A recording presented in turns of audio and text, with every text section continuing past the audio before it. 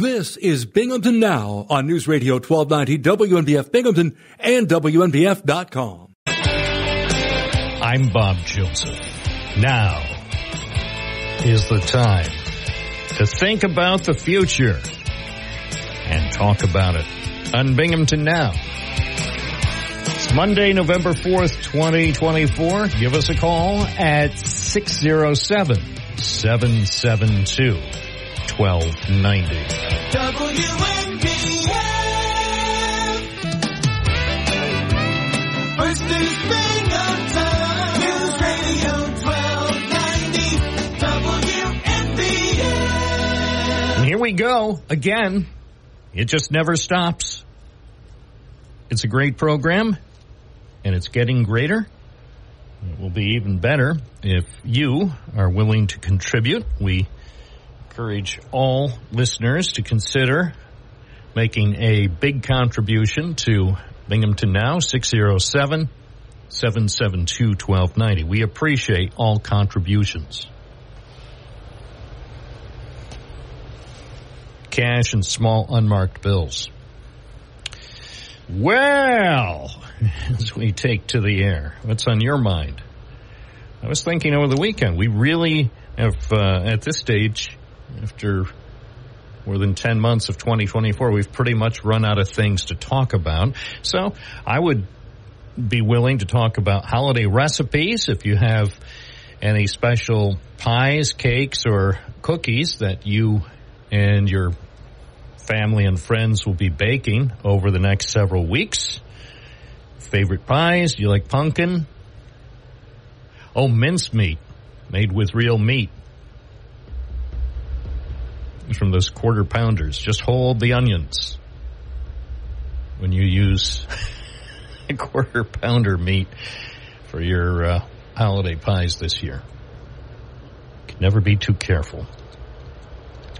So yes, we'll talk about uh, the holiday season. I am no Martha Stewart, but I certainly am willing to listen to people who have pro tips as far as holiday decorating and things of that nature. Because now is the season to think about the uh, decorations for your home or business. If you have um, special tips for maybe say your street, maybe you'll have a contest on your street. I know a couple of streets where people really work hard every year to outdo each other. Right? I don't think it's a formal competition, but it seems to be a competition. I, I know one street in particular every year.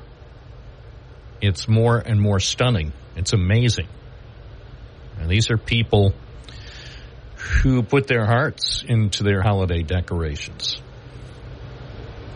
So, if you have uh, decorating tips, whether it's for inside the home or for outside the home, and now is now the best time to actually put up the decorations before the snow flies. Well, we have uh, looks like Tuesday and Wednesday are going to be unusually mild, so is it smart for people who are planning holiday decorations to get the decorations put up on their home or business this week?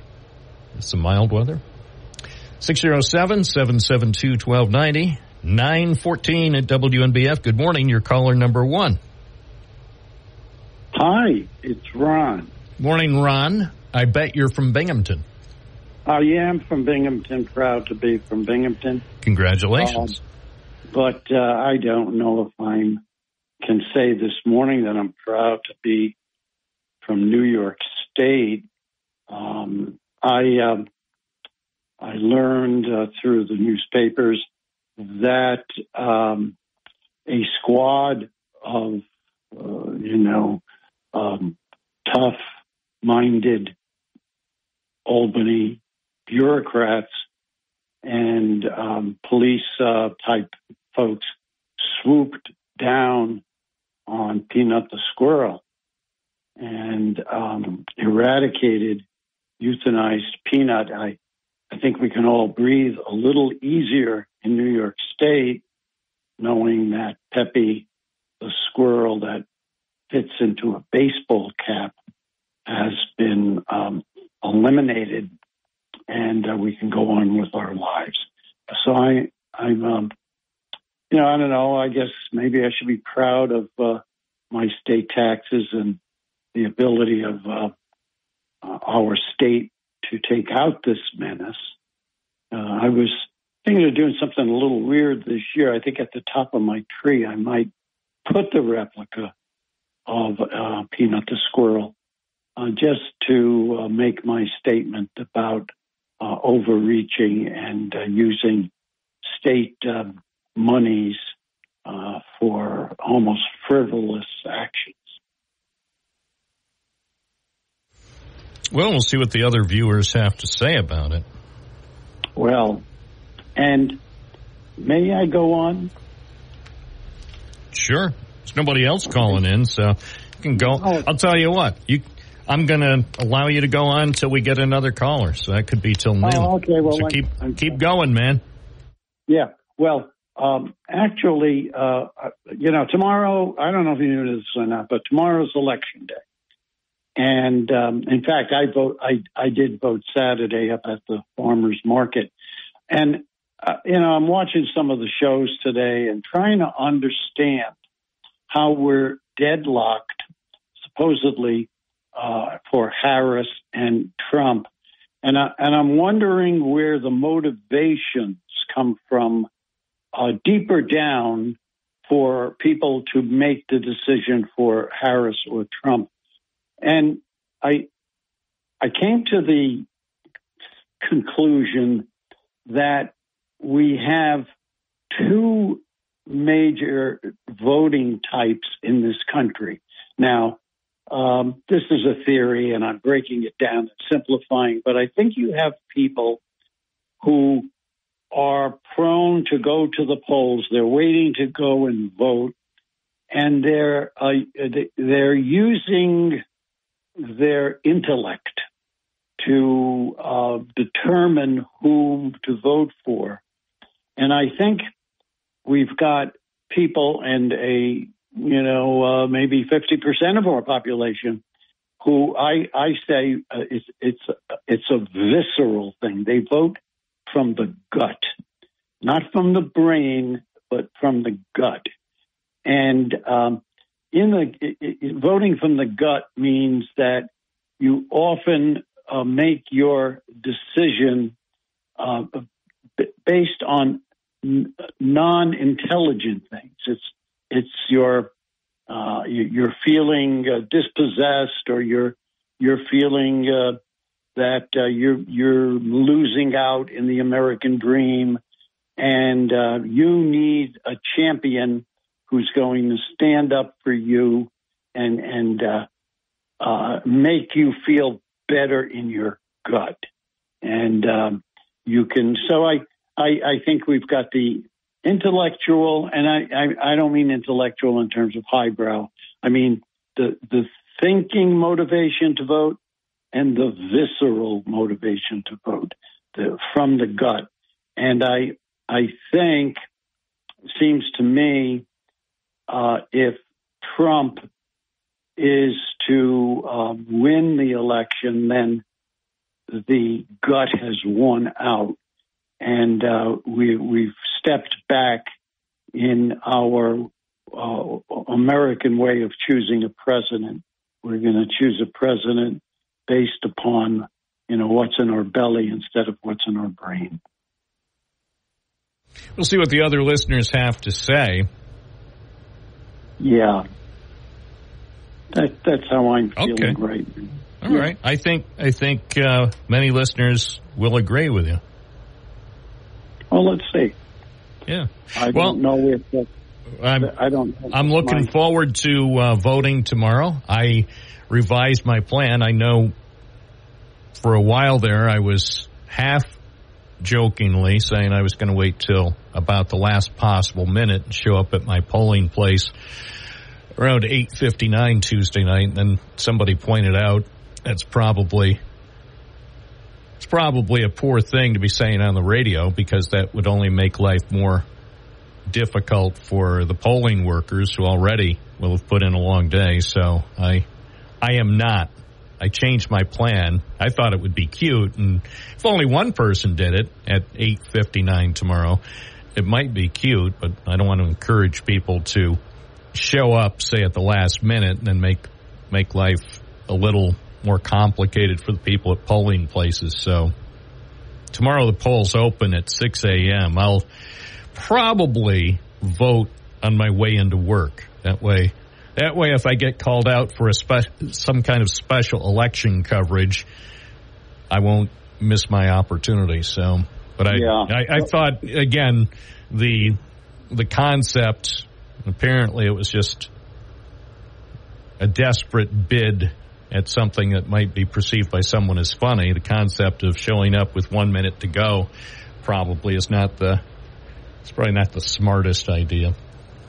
Yeah, but it, it uh, you know, you you were in your youth. Some of the things you've said, you're you're you're, you're a rapscallion at, at, in, in nature, and that's why you were thinking of 859, just to be, uh, you know, uh, um, to poke to to to poke uh, the system a little bit. Well, and it also could could be argued just to to test, just because they always say, well, if you're in in line at the time the polls close, you get to vote. So there could actually, from a news standpoint, be a legitimate reason to you know try that theory just to test it out. If I was there at eight fifty nine, and then they said, eh, nine o'clock.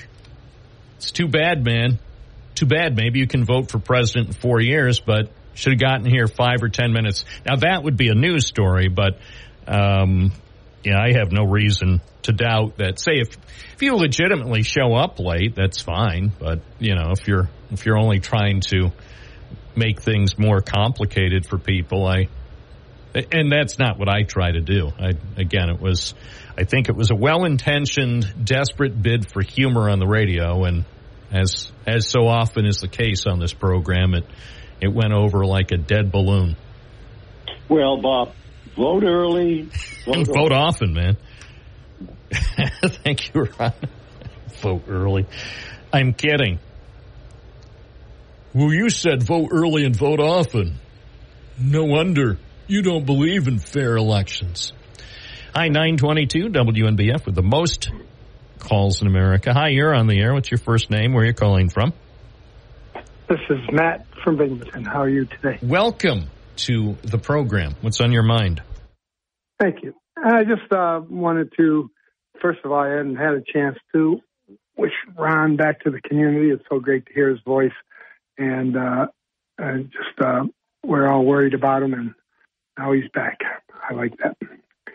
So, anyway, um, I'm sure all the most of the the listeners do too. Um, what's really instructive, I think, about tomorrow, and my predictions are that uh, it's going to be welcome, Madam President, because Iowa, which is there's a woman there that's been doing polls for the last three cycles. She's always dead on, and I don't know if you saw this, but she went she went from eight when Biden was in there. He was 18 points down.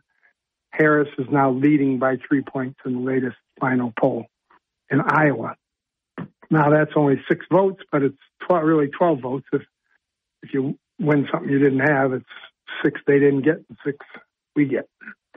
So I, I'm very optimistic that that's the way the, um, especially since uh, DJT didn't have any ability to pivot at all. His ads do because they're not being run by him, but his campaign uh, stomping across the country, um, he has gotten worse and worse and worse. And by the way, I, I really do want to ask you: Do you think that you're safe if Donald Trump wins as a somebody who is could arguably be say be an enemy of the people? Hello. Oh, you were talking to me. Yeah. Oh well, I really- I, I think that. That's yeah. I'll throw hear what he that. said in the- Yeah, we'll toss that out to the viewers at home because I I think that's a good question, and Right, because you heard what he said yesterday about, uh, you know, he wouldn't mind seeing because he had glass in front of him, and the only way they could shoot at him and possibly get him was if they shot through the press. And he said, "Oh, I wouldn't mind that if they had to shoot through the press." I don't think he. I think it was misconstrued by some people. I don't think he. I, I think the campaign also put out some kind of a statement to clarify. So I don't. they always do. Of course, they're going to. of course, they're. He, he didn't. He didn't want the. I mean, fake news. Right now, fake news is is sort of funny because we all know the origin of the phrase, and it's Right. all, all one can do is, just shake shake one's head. It's you know if you go through life with the belief, the perception that everybody in the mainstream news uh, business, whether it's in New York City or DC or even in Binghamton, if you're saying that everybody who participates in so-called mainstream journalism is fake, then you clearly don't understand the concept. You know, reporters and editors and news organizations don't don't work together. I mean, sometimes we'll collaborate. My uh, colleague at News 34, Jim Emke, sometimes contributes to this program. Say if news breaks when I'm here in the studio, Mr. Emke, uh, thoughtfully, after he's done doing his primary job for News 34, sometimes he'll call in to let us know what's going on. So sometimes there are collaborations, and sometimes I will work to collaborate or assist reporters with background or whatever. But news organizations generally, even in this strange era that we're currently in, where the news media have been downsized, we're still competitive. And we can't, you know, the, the, if you think, if you think that people who call this program sometimes are disagreeable, sometimes journalists in the same town can disagree about certain things. I mean, not, not violently, because most people in journalism exercise common sense and, you know, we can disagree on certain issues or stories or whatever without being disagreeable. I mean, I, I think there's mutual respect. So anyway, we'll throw that out there. Thank you, sir. Especially this thing about the, um, the media and, and what that one candidate actually meant by, by his statement. I, I mean, he couldn't really have meant that he wanted reporters to be shot. It doesn't doesn't seem like something a former president would do.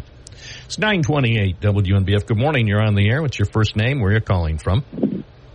Good morning there, Bob. Dave from Vestal. I am looking forward to tomorrow, Bob. Hey, how many times have we heard? I mean, I've even said it many times in my life. Trust your gut. I never hear anybody say trust your brain. That could be pretty hazardous, especially to liberal progressives, the way I look at it.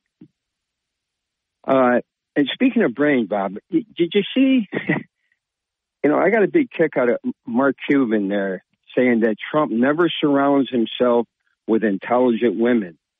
But yet he's supporting probably the most unintelligent presidential candidate in our history.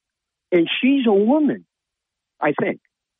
Today's day, you, you never know, Bob. It's, it's a coin flip now when I go out in public. I can't tell anymore. Uh,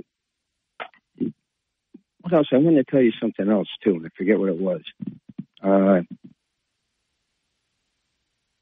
darn. It was important, too, Bob, to me, but not to you. It's a shame. Mind is a terrible thing. It, nah, sometimes it is, Bob. It really is. Yeah. Oh, But, well. oh, I know what I know what it was.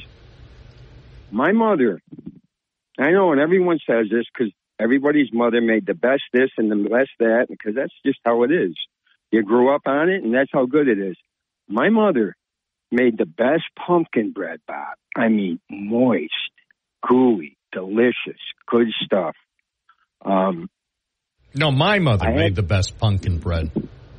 Hers was Really? best. yes, see, It was the best darn pumpkin bread. So I don't know. I'm not disparaging your mom, But if your mom were around today and she had a chance to try my mom's pumpkin bread, even she, even your mom would agree, mine is very good.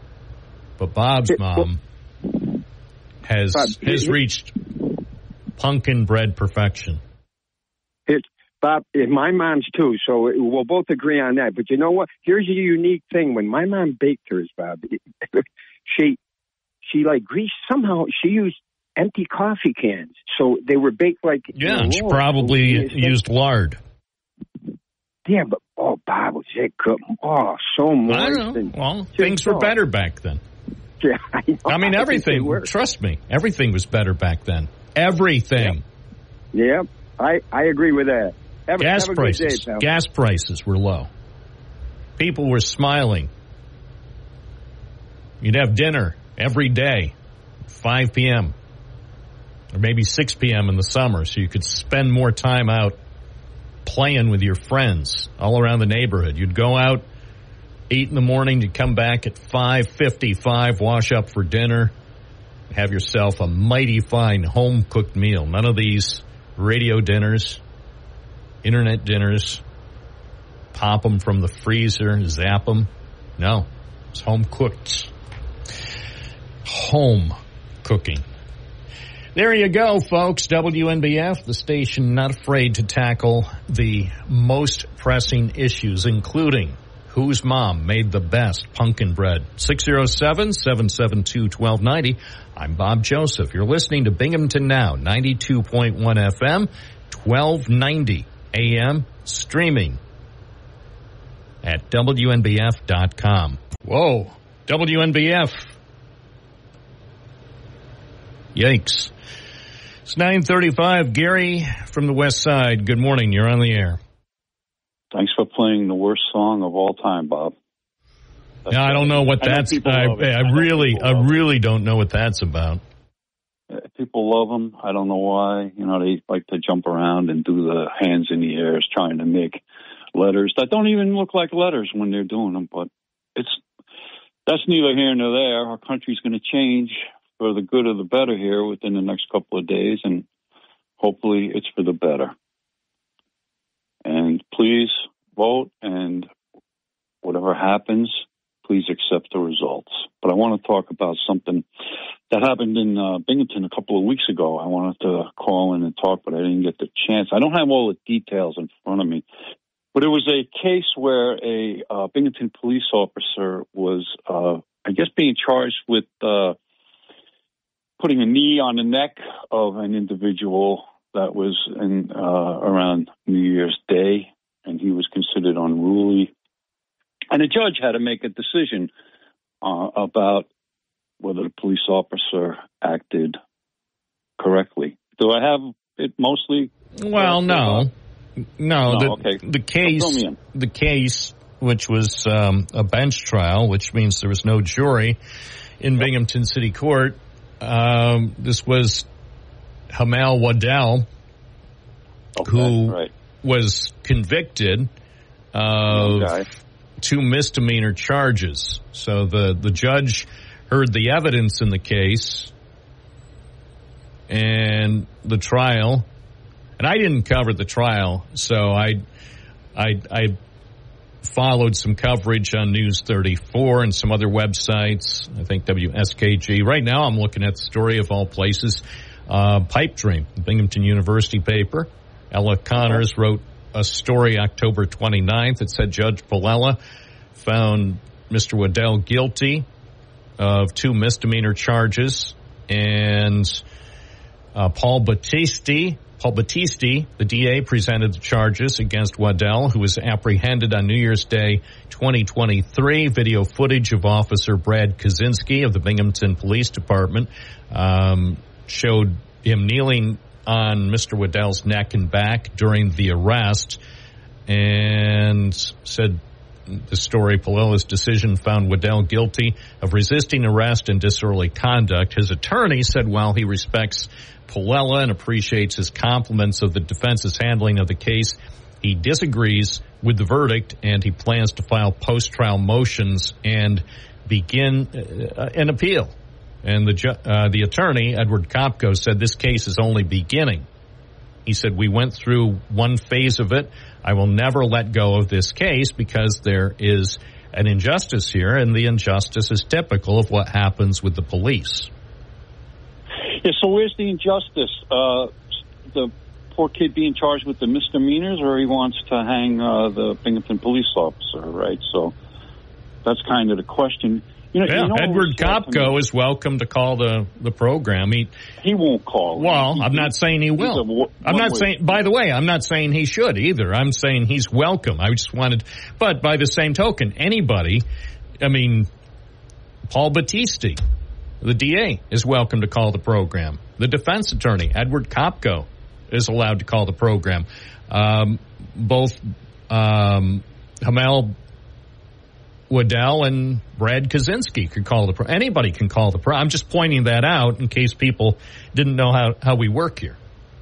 the way the way I saw this case, Bob, I might be wrong, but this is just the way that I saw it. I saw that there was a lot of people that were supporting uh, Mr. Waddell, and okay, that's great. But if all you have are people around you telling you that you did nothing wrong, you're not guilty, it's just the police, you know, you're you're going to believe that, especially a young individual. I think he's kind of being a little misguided.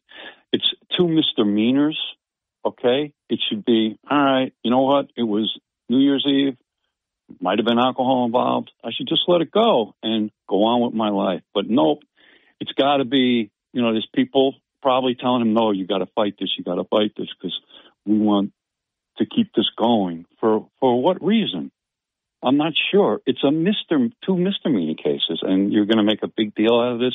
What do you want to do? You want to hang the police officer because he put his knee on the neck? I'm not sure what's going on. I'm really not, but I think that it should just be that was the judge's decision, Judge Palella. You know, why not accept it and move on with your life? Or do you have too many people around you telling you that you shouldn't be doing that? That you know, there's an ulterior motive here or something. I'm not sure what it is. Might be against the police. I don't know. Well, we'll see what our, would- our other viewers have to say. The thing that strikes me as interesting about the entire case, in fact, everything that happened since New Year's Day 2023, is at least on this program, there's been very little discussion of it. I've called in about it before, you know, right away. I didn't think, uh, you know, I wasn't sure whether the knee was on the neck. It seemed like it was more more on the the back than the neck, but uh, you know, it wasn't too. I asked, uh, you, you had a guy on here that was a young guy that used to fill in, uh, that worked for WNBF. I can't remember. James, maybe was his name. Oh yeah, James James from Binghamton used to work here. He was part time here at the WNBF radio. Yeah, yeah. I asked him whether he thought that, uh, you know, that he thought that there was a knee on the neck, and he said he thought that there was. And it wasn't too much longer after that, Bob, that like he wasn't around anymore. I was wondering if that had anything to do with it, you know, because sometimes when you speak your mind, you're very wise. You know, sometimes I ask you questions and you'd love to answer them, but you're on the radio and you know, uh, you know, people can hold you where you work or whatever. So you, you know, you don't, you'll answer some questions, but some questions you got to steer clear of. And you know, he answered the question. I don't know if your boss or whatever said, "Hey, you shouldn't be doing that." No. or whatever. But No, well, okay, I, good. Well, I can I can reveal to you uh, the people here who run the station and oversee ultimately Binghamton now. They didn't say anything about it, so Good. it's not not like That's any. When it comes to this case, no one has been muzzled. No one. So I mean, people who support the police officer haven't been muzzled. The people who supported the man involved in the incident that ultimately resulted in the trial, they haven't been muzzled. Everybody in this particular case has been permitted to call if they want. I will say, and astute listeners will agree, I have not gone out of my way to encourage discussion because this is and and some people say, "Oh, Bob, well, th- then you're not a very good talk show host because any other talk show, if this happened in New York City or Chicago or L.A., any good talk show host would have been all over this and, and encouraged lots and lots of conversation about it." Well, that's not me. That's not how I approach something with that's sensitive. Yes, I will talk about things and when people bring it up, but I'm not going out of my way to potentially inflame tensions because I understand a bit about what people think about in cases like this. And so I'm not I'm I'm a proud member of this community and so I'm I welcome conversation, but as we've said before, and some people really, really don't like it, that I I control the discussion because this is not the internet. This is our community, and this is WNBF radio. This is not let's let's go wild in the streets. If Dan Bongino was running the show, it would be totally different. Fortunately, Dan Bongino has a national show, and he runs it the way he wants to, as he should. But this is a Binghamton based program that cares about everybody in our Binghamton area. And I and I realize and by the way, I fully appreciate the fact that I'm the only show in town like it. It's not as though I agree. It's not as though if if people don't feel their views are being properly represented by this show, well then they can go to the next WNBF local show and have their views properly represented because there's only one local show. So it's it's a lot of responsibility for for what I do, and I take it seriously. I agree. There was a time when the police could do no right. You know, not too distant past. You know, this all came about you know, it was all police misconduct. And yet, while, yes, there were cases, absolutely, where the police could have done a lot better job. You know, this part here is you, have to control unruly people. And sometimes you have to do things that are right on the borderline of being too aggressive. But, you know, a knee on the back of someone isn't too aggressive. You're charged with two misdemeanors. You're found guilty let it go. Let it go. Go on with your life. And yet, and yet, the Attorney General, Tish James, released a report that came to somewhat different conclusions. So everybody, everybody can look at those videos, and everybody mm-hmm. can come up with their own conclusion about whether it was appropriate or not. The only thing I can say, yeah, the only thing I can say is I wasn't there. I I I've looked at videos from what transpired. No, no, well, Tish James didn't say that he was not not guilty of misdemeanors. Tish James was talking about the police officer. No, that's true. Actions, that right? she reviewed the actions of the police of officer. the police officer, so, not of his. But some people have argued that under other circumstances, that this case would never have gone to trial. I mean, it's when's the last time in the city of Binghamton there was a trial for someone charged with resisting arrest and disorderly conduct? I don't know. I don't follow well, that stuff. Yeah, well, I I can't think of a time. I'm not saying it hasn't happened. Probably has happened, but hasn't happened recently. So some people have suggested that this case was treated differently than if there had been no allegations surrounding the the police and the scrutiny and the video. So I don't know. It's I, I welcome other people to call in and offer their assessments. Everybody's welcome. And so far, not many people have commented. But as I've said, the attorneys in the case are always welcome to call. Will they call? No, they won't. Will the people who were involved in this case call? No, they won't. And by the way, if I if I was an attorney representing either man involved in this case, as an attorney, I would recommend that they not call a radio station. But everybody can make a decision. Attorneys, as a rule, always advise their clients if there's going to be anything said in public, let me do the talking. That's why you hire an attorney. It's 949 at WNBF and WNBF.com. My Heading back to the busy, busy phone lines, Beverly from the town of Dickinson. You're on the air.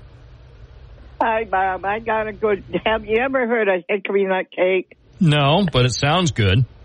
Yeah, well, I used to make one for Christmas for the family, and I made my father um, a hickory cake every year for his birthday. Unfortunately, I haven't made them in years, but that's uh, that's a good recipe. The longer it sits, the better it tastes. Where do you get the hickory nuts?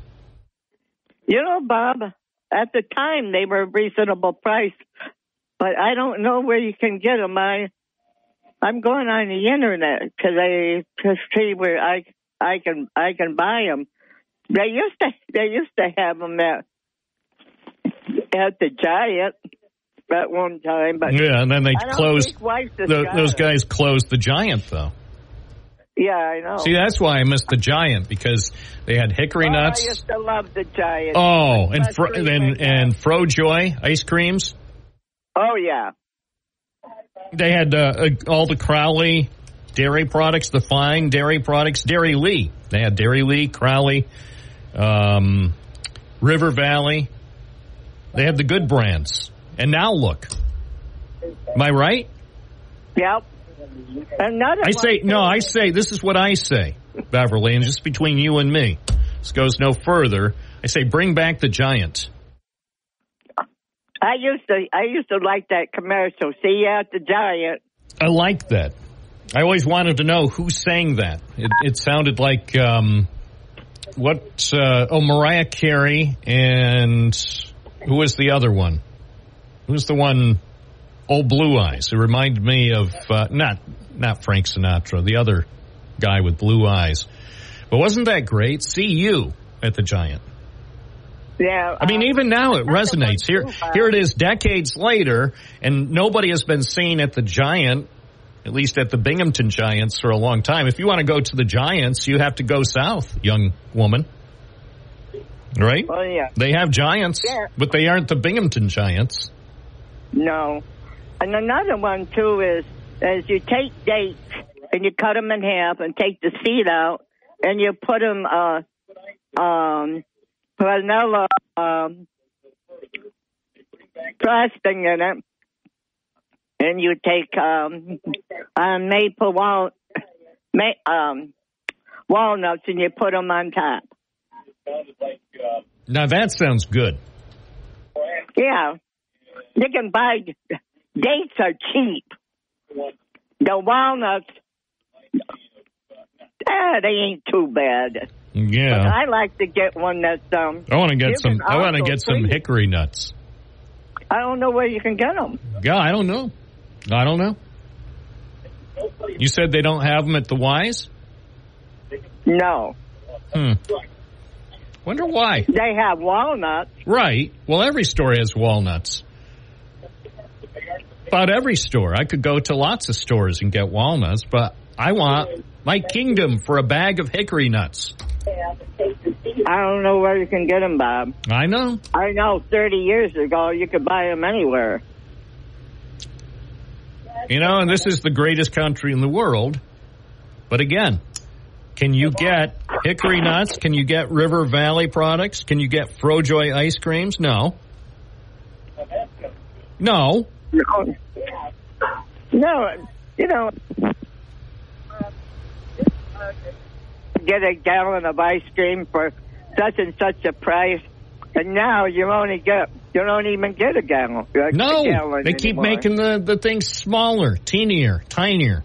The same with the chips. When I was a kid, you could get a bag of Wise chips at the Giant for 59 cents, and it was a full pound. That was a pound of chips. Remember when Mr. Chip used to come by and yes, and? Mr. Yeah, Chip with them. Charlie Chip. Yep. Yep. All right, thanks for the memories. Okay. Bye bye. I miss Charlie Chip. His chips were so crisp. The perfect chip from Charlie Chip. It's 957 Monday morning with the one and only Bob Joseph on WNBF. Joined now live by Congressman Marc Molinaro, the Republican incumbent in New York's 19th congressional district. He's facing a challenge by Democrat Josh Riley. Good morning, Congressman. Good morning, Bob. How are you? Great. How's your voice? Your voice sounds a little scratchy. Well, it's a little scratchy, but it's much better than it was a week ago. Uh, you know, I, I think I talked to you the day of or the day after we did 11 counties in, in a single day. Uh, really just to show our, our, you know, certainly our continued commitment uh, to be in the community. It's something that, uh, that I, I take a, you know, I put a high priority on. You know, you can't represent people if you don't show up. And, uh, we show up. Uh, I think you've heard me say the joke around town is that, uh, that, that I'll show up to the opening of an envelope. Uh, but more importantly, uh, we, we like to show up and, and meet people where they are and, and, and, try to confront the challenges we face. Here we are just hours away from the opening of the polls in New York State. They'll open at 6 tomorrow morning and be open all day till 9 tomorrow night.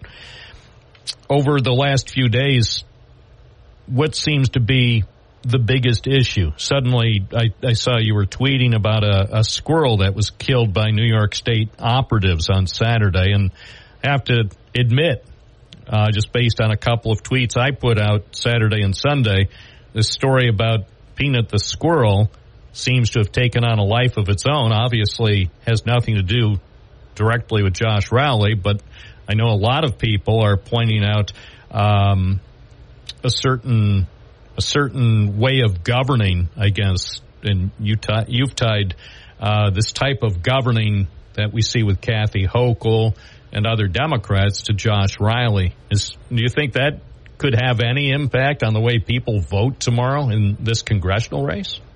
Well, first, you know, I mean, Josh Riley's campaign sort of dismissed it as hokey, but I mean, we, we know this. I mean, I, he wouldn't know this. He, he hasn't lived in New York for the last 20 years.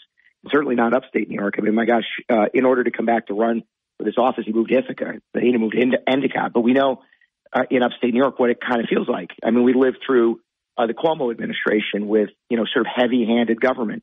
Uh, we lived through them calling us uh, uh, names, right? Kathy Hochul uh, said if you if you don't agree with her two years ago, get on a bus and leave for Florida. Uh, two days ago, Kathy Hochul said if you don't agree with her, uh, you're un-American. And then, yeah, in some ways, I mean, it, it is government overreach. It's very emblematic. I mean, there is no reason for the Department of Environmental Conservation uh, to raid a person's home. By the way, ask the citizenship status of his wife, take a pet, a, a, a, pet, by the way, on a rescue farm. I mean, keep in mind, you know, we have these in upstate New York all, all over. Take a rescue pet and, and kill it. I mean, it's just, it, it's just emblematic of that kind of heavy handed uh, government that doesn't seem to actually respect people. And so for me, and, and I'll, I'll take this opportunity to, to point out, I mean, I mean, what Josh's campaign has been either, you know, lying about him or lying about me. But, but, you know, having actually held elected office, having put my hand on a Bible and actually taken oath of office to uphold the Constitution, I know that this is a sacred relationship. It's not, it, it isn't a sport. It's not a game. Uh, it, it's a sacred relationship. And the job of the elected official is to humble themselves and to serve people. And I, and I've actually had, I've actually had to run government where, by the way, during the pandemic had to make a lot of really tricky decisions. But we were always, those decisions were always based on respecting the rights of others. And so when, when you hear the governor of the state of New York, who, by the way, is, is fueling and funding Josh's campaign, they, they set up offices in counties. They spent $23 million. I mean, Kathy Hochul is trying to buy herself back congressional seats that she lost two years ago. We know what that looks like. We've lived in New York long enough to know what that kind of politics and policy looks like. It looks like what you saw in outside of Elmira with the DEC overstepping. It looks like the property taxes Endicott and Vestal and Binghamton residents pay that are just too damn high because the state doesn't want to balance it, its books. It forces costs onto property taxpayers. And it looks like cashless bail and sanctuary city policies that seem to put criminals and people who enter this country illegally before the folks who are struggling just too hard. And so I will tell you this last week, our early voting enthusiasm is high. We have had record turnout. mind you, um, uh, enthusiasm on, on both sides. But we are outpacing uh, ourselves from two years ago on, on our side uh, by, by significant numbers. People are fed up. Now, I understand you don't like the ads any more than any of us do. I mean, quite frankly, you and I have talked about this before. I, I think there should be actually global limits on how much could be well, spent. I, I get the, the sense from talking with both you and with Josh Riley, neither of you really are enthusiastic about the type of TV advertising that's been on virtually every TV station in the congressional district. The only people uh, happy about the TV ads are the people that run the TV stations. They're raking in well, millions yeah, and not, millions yeah. and millions of dollars in this campaign. They're yeah, the happy the ones. Yeah, the only difference though is, and I, and I take issue with this, is I'll, I'll tell you that you know I, I don't like the tone and tenor, uh, honestly, of, of any of any of it. But Josh seems very happy uh, with uh, the ads that that just just lie about me. I mean, you know, the ad we talked about a week ago about this this farmer who, by the way, says he's a farmer, says he's a Republican, says he won't vote for me. He's not a Republican. He sold his farm two years ago and he doesn't live in the district. Or the birth control ads that that, that are popping up in front of young people, particularly particularly young women, saying to them that, that Marc Molinaro opposes access to birth control. Hell, when I was in the state legislature, I voted to ensure access over the counter to birth control. I, I, I sponsor and seek to sponsor the legislation that would protect access to birth control nationwide. And, and it's that kind of dishonesty that he doesn't distance himself from. I, I will. I mean, I, I, I, think that we should be upfront with people. And, and that's why I show up. I mean, I, I you know, I, I, I was out in Lisle to the uh, Lobster Bake, Rotary Club Lobster Bake, and I'll tell you, there were uh, a handful of people who clearly were not supporting me, and and and I had the same conversation with them that that, that I'd have with anybody else. They have right to to ask you questions and get answers. I just don't think he understands it, and he certainly didn't put it into practice. We do because I, I, I truly mean this to all of you listening. I won't always get it right, and we won't always agree, but I will always work hard to try to get it right for you because it's because I actually believe in the communities that I represent and the people and the job of public service. I believe in it and care about getting it right. So I get the sense that in addition to, of course, traditional media and now being inundated, bombarded by text messages and phone calls uh, from the campaigns, that uh, also social media apparently is viewed as playing a, a key role in this uh, campaign. Um, both your campaign does a lot of uh, tweeting. That's what I call it, Twitter. Uh, despite what Elon Musk has rebranded it. Uh, so I, I, found it fascinating. Your campaign tweets about the squirrel situation at 1247 on Saturday afternoon. And then 12 minutes later, Josh Riley's campaign is responding and saying Marc Molinaro's closing an argument, whatever the hell this is. That's a direct quote and then points to your tweet from just 12 minutes earlier. I mean, it's, to me, it's remarkable that the campaigns are paying this much attention to social media? Well, I, I will say to you that we use social media to, to communicate messages. I'm, I'm actually uh, not on social media. I, I, I prefer uh, not to. not to I prefer not to too, but I, yeah. I, I have to because of my line of work. I, I hey, fair enough. Yeah. But but let's just go back to that. That, by the way, and again, I know that some can dismiss it, but but that that that post and repost is emblematic of their campaign. Think about it for one moment. We weren't saying uh, this was some outlandish thing. This is the New York State Department of Environmental Conservation got a warrant. I mean, there are murderers living uh, in in our there are rapists living in our community. You know how difficult it is to get a search warrant or a wiretap. Uh, the Endicott police, right, get get informed that there's a Peruvian serial killer living in Endicott and yet they have no capacity to intercede because of sanctuary city policies, the ones that my opponent embraces. They can't get get involved in those kind of cases. But the DEC of the state of New York feels so empowered that they get a search warrant that a half a dozen uh, law enforcement show up at a guy's uh, rescue farm and and take his take his pet squirrel. Now, is this is, is you know uh, it's just simply emblematic of the way in which government too often acts. And Josh Riley's campaign's response is, what are you guys talking about? Whatever the hell that means. What it means is that when we woke up in the middle of, at, towards the end of COVID, and they were still telling, they were still telling you you couldn't go to the gym before 10 a.m. or after 11 p.m., or you had to have drinks with your with your buffalo wings, or when the governor overreached and signed orders. By the way, just today reported that he actually has notes now, Andrew Cuomo, on the nursing home order that ultimately led to the death of of, of those struggling with COVID. Uh, it is it is simply this kind of government that thinks because they're only one party, because there's no one holding them accountable, that they can do whatever the hell they want. And so, what the hell it means, I would respond to the Josh Riley campaign, is it means that too often in New York, a state you wouldn't understand because you haven't lived here for 20 years, the state government overreaches too often. It's why the restaurant, you know, consuls in uh, in, in Endicott, uh, you know, uh, why they know that the labor law is 172 pages long and and there's more regulations being put on their backs. Or Judy Whitaker, the local farmer, knows that when the DEC says one thing, the the Department of Agri- Ag and Market says something else, and it's confusing because the government doesn't seem to care about you. It just seems to regulate you. And so, Josh Riley, what the hell it means is that our government is so broken and corrupted that it does need people who are going to push back. Kathy Hochul is going to be governor for the next two years, like it or not. Josh Riley's going to push back on this? No, he doesn't even think it's relevant. I push back on it, not to be a partisan, but to be clear that there are people who deserve to have somebody speaking for them. And, it, and for me, that's critically important. And by the way, I do it for Republican or Democrat. I, I push back against George Pataki on, on, on policies when he implemented them uh, that didn't make sense. Because ultimately, the, the sacred relationship you have in public office isn't between you and the other offices. It's between you and the people and ultimately that Constitution. So I, I, what the hell it means, Josh, is it means that our government is too bloated, too broken, and often too arrogant.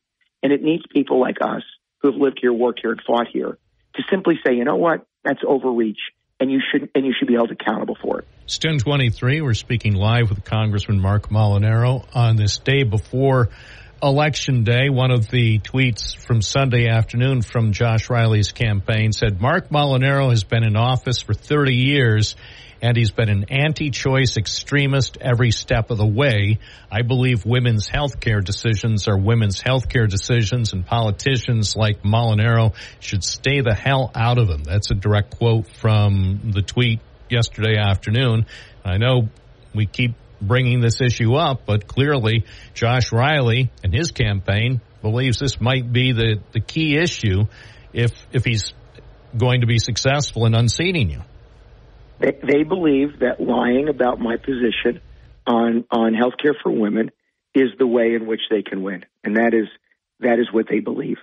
I believe uh, that when it comes to health care, that the decisions ought to be made between a woman and her physician and nobody else and I will continue to oppose a national ban or any infringement by the federal government on the rights of New Yorkers. They literally have an ad saying, I oppose a bill that I've sought to sponsor to access uh, birth control. It, they, they know they're dishonest. And so, so, so they just continue to feed this argument. And then I'll just take one other issue.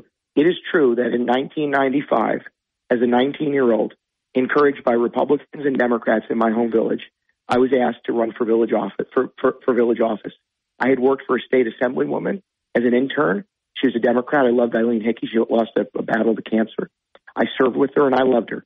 And she taught us about public service. It is true that for the 12 years I served as mayor, I actually helped rebuild our community uh, and revitalize our economy. It is true that after a horrific rape of a young woman and her daughter, I helped uh, ensure that, that that family had the support and our community had safety and security. It is true as a state assemblyman, I fought to clean up the Hudson River and, and push back against policies that continue to raise property taxes in New York. In fact, as a state assemblyman, voted for the largest middle class tax cut in the history of the state of New York. And it is true as a county executive, I led efforts to rebuild mental health services and substance use uh, disorder treatment programs and help those with intellectual, physical, and developmental disabilities. It is not true that I've spent the last 30 years on the other side of that issue. It just simply is, it is simply a lie. And in Washington, Republicans and Democrats know my position. It's the reason, it's the reason there is no national abortion ban. It's the reason they have, there is no ban on access to birth control because I use my vote to stand up for women uh, and stand up for their, their rights to access uh, the treatment and the care that they, they choose to access. That is true. And Josh is lying. You voted early, as many New Yorkers already have. Uh, and I know in the past you have said you voted against Donald Trump. Did you vote against Donald Trump? Or you? We'll say Well, you never- didn't. You I didn't didn't. say that. no, I didn't no, say no. that. I know. I, I, as soon as I said that, I, I know you didn't say that. You're good- you're you're good enough to, to know not to put the wrong word. Yes. in my mouth. Oops. Oops. That's the beauty of live radio. I voted Anything. for Donald Trump. Yeah. I voted in 2000. You did vote for Donald Trump Yes. this year, I but did. you didn't. I think- but you didn't in the past. I believe you said in was it 2016 that you did not vote for Donald Trump in the election that he ultimately won. I believe at this moment in time, we cannot simply allow a government that has broken so much, whether it's the southern border. I mean, it was only how many, only months ago we were paying nearly $5 a gallon for gas and waiting three hours in line to get, to get formula for babies. Um, I just don't believe uh, that uh, the vice president is capable of solving the problems she helps create. And I want a government that is focused on securing our border, making us uh, safe at home, and, and making us more affordable. And I'll tell you this right now. Uh, I, I believe that upstate New York will, will prosper and, and be much more successful when we're working to secure the border and drive down costs. So, yeah, that's, that's how I cast my vote. If you don't win re-election, are you out of politics? Will this be your last campaign? Bob, we're going to win on uh, the end of the day Tuesday, and anybody who ever answers that question any other way uh, isn't in it uh, for the right reasons. I tell you, we were out. Uh, I left at six o'clock yesterday morning, uh, and uh, we were, I think, about seven or eight stops yesterday, ending uh, in Deposit, uh, uh, just down the road from you all. You know where that is, uh, at, with a with a small group of voters who just wanted to get questions answered. Uh, I, I got home at about 10 p.m. last night. Uh, it's it's the way it works. Now I will have likely visited more places in the in this last weekend than Josh has in a whole week and a half. Uh, but I, I, it's just important. I mean, we're, we're doing interviews everywhere. Do you know? The, read the interview. You know this. You're a good journalist. The number of interviews where we're the ones answering, and the Riley campaign declines to comment. It, it's just not a. It's just if you feel like often you're on the inside, on the outside looking in. It's people like Josh who are on the inside. They think that they could just hide behind the ads and not answer the questions. We show up. I show up, and I'll talk to anybody uh, under any circumstances. We were at the uh, uh, at the Sons of Italy on Saturday night. Had a great another another another dinner again, talking to people, but with whom they may agree or disagree with me. Uh, it's just important, and so I listen. We're working uh, to represent, and certainly I think we're going to win uh, uh, when the polls close on Tuesday. And don't forget to vote. If you haven't already, please make sure you show up. This is not the year to stay home. Republican, Democrat, non-enrolled. If you're undecided, please give me the opportunity. Uh, I listen. I want to secure the border. I want to drive down costs. I want to make our community safe. I'm going to continue fighting for those with mental health issues, and and and the people who, who know me know how much uh, how important it is to fight for those with intellectual, physical, and developmental disabilities. Give me that opportunity. I'm the second most bipartisan member of Congress for a reason. I'll work with anybody who wants to solve problems. One final question. What do you make Yes, of the behavior and some of the comments of Donald Trump over the last several days at his campaign rallies? I mean, you'd have to point to anything specific, but I, I listen. I, I think I think Donald Trump. Is I don't want. Well, Donald I could point to a lot of things specific, including the um, the comment that some people took to to uh, be that he wouldn't mind if somebody shot at at reporters yesterday, No, or what some people that- were no, no, saying that was a isn't what he- simulation of a sex act. I mean, there a lot of things have happened over the last week with Donald Trump and things- his and a campaign events. And a lot of things get spun uh, a lot of different ways. Uh, what I would tell you is that I think it's, I, I, listen, I, I try to comport myself in a way that is reflective uh, of of, uh, of of what people expect of me, and, and and by the way, what I expect my kids to emulate. Uh, listen, Donald Trump. Well, what would you want your kids to act like Donald Bob, Trump? I'm not going. Bob, I'm not going into that one. The president is uh, is authentically him. You know what you're going to get, and I think we're going to get somebody who's going to fight for this country. But I do think it's equally offensive. Uh, and by the way, um, almost always overlooked uh, by some in the media, perhaps not you. Um, you know, when you have the pre- when you have the vice president saying, uh, you know, he's a fascist, or you have Democrats in New York saying that the Madison Square Garden uh, uh, rally was a Nazi rally. You had MSNBC actually showing Nazi footage as Jews were celebrating in Mass- Madison Square Garden, as good New Yorkers were ce- celebrating in Madison Square Garden. You had the President of the United States say the only garbage he saw was the garbage uh, were the people supporting Donald Trump. And then you had the governor of New York say that if you don't vote her way, and you don't agree with her, you're un-American. I I think everybody ought to take a breath uh, and cool it because you know what? I serve great Americans and gr- good, decent people, Republican and Democrat, and uh, and I'm going to continue to speak up and fight fight for them. And one thing, do, do you think Donald Trump is showing any evidence of mental decline over the last several weeks?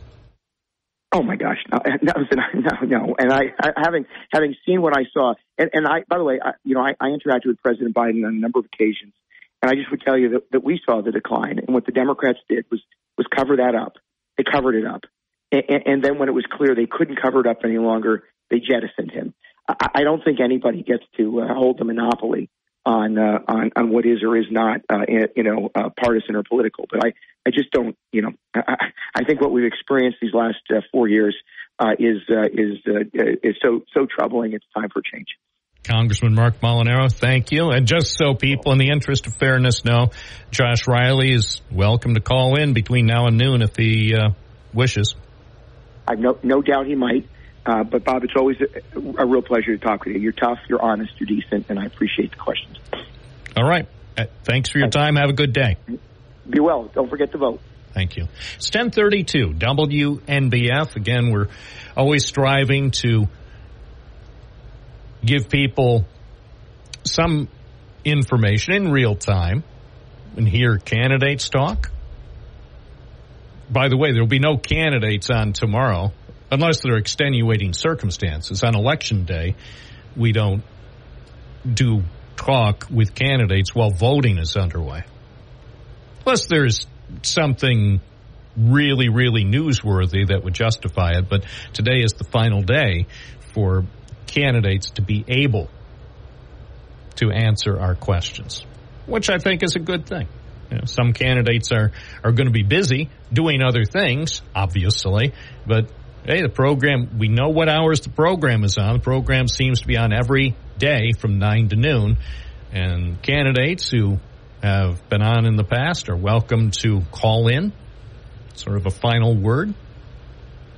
Thing about the questions here on the station, there are no questions in advance. It's not like maybe some debates or some interviews where questions to a candidate or to an incumbent or whatever are provided in advance. That's not how I operate. I'll ask my questions. Sometimes the candidates might like the questions, sometimes they may dislike them. And of course, it's always guaranteed. The only thing I know about doing interviews is there will always be questions that you would have asked. But that's that goes with the territory. I understand it. Yeah. When I'm listening to an interview, I have questions that I would ask, and you know, I I share your frustration.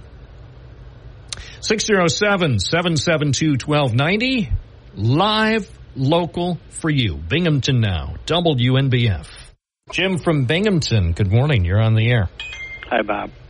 I just wanted to give you a little info about Marc. Uh, my wife and I have an autistic son. He lives in a local group home with three other men. Uh, Marc Molinaro visited this group home over the summer. He spent a few hours with, with the residents and the staff. He wasn't there 15 minutes and for a photo op and, and split. He wasn't out of there quickly. Marc has a daughter on the spectrum. He didn't mention that to you when, when you interviewed him. He's a sincere person, and in my opinion, he's not a phony. Now, the other item I called about is um, Kamala Harris, uh, Vice President, says that our immigration system is broken. But I don't understand how enforcing immigration laws would be considered uh, the system to be broken. Um, it shouldn't be too much of an effort for her to allow the border enfor- enforcement patrols to do their job. That's pretty much all I wanted to say. all right i appreciate your call thanks for listening Thank you, sir. 1037 WNBF. Everybody's opinion is valued on Binghamton Now. Vinny from Binghamton, good morning. Hey, good morning, Bob. I just heard our uh, representative Marc Molinaro. Um, you know, it's it's so funny, Bob. eh, by the way, great questions. I don't care if the callers call in after this and say, "Why'd you do that?" But you actually exposed him with easy questions, easy questions.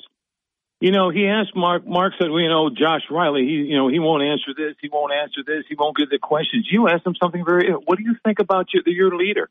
What do you think about the president and this stuff? Well, well, you know, look, look, look, look. You know, the way Democrats treated Joe Biden. Well, well, how did the Republicans treat Mike Pence? They wanted to hang him. You know, you guys always try to skirt around what this guy does. This is the president of the United States, what he continually does. And one more thing about the border, and I'm going to bring it up like I said before. First of all, you got to understand how the border works. Our border is broken. You can take three, you, what was that? You can take all the so-called illegals out of here. Do you, Bob, I read a, I read an article the other day. Do you know how much it would take, how much money it would cost this country to take all these illegals that Donald Trump is talking about? $315 billion it would take to get all these so-called illegal. And how are you going to do it? How are you going to, how are you going to know the difference between these illegals? Do you know how long this is going to take? And they'll be back in here within five years? Our system is broken. And you talk about the border agents and the asylum agents. That's in the that's in the um, contract that I keep telling everybody. Why don't you read it so you can understand what's going on at our borders? Quit listening to these politicians. Read the damn bill, and then you'll get some knowledge about what's going on at our borders. And until then, these politicians love how inadequate you are about what's going on at our borders because m- the majority of American people are too lazy to find out what is really going on down there. You can look it up online. Look at that border. And they know it. They know it. They know it. They know it. That's what's wrong with our borders. But I mean, until you, if you want to keep hit yourself in the head with a stupid stick, be my guest. All right. Well, we'll see what the other viewers have to say. We've got uh, more calls coming up. It is a good Monday morning to talk on Binghamton Now. And we did speak at length with Congressman Marc Molinaro to start this hour. And of course, in the interest of fairness, we're willing to talk with his Democratic challenger, Josh Riley, if he calls in before noon. If he calls in tomorrow, we don't talk with candidates on election day. It's sort of a long standing policy.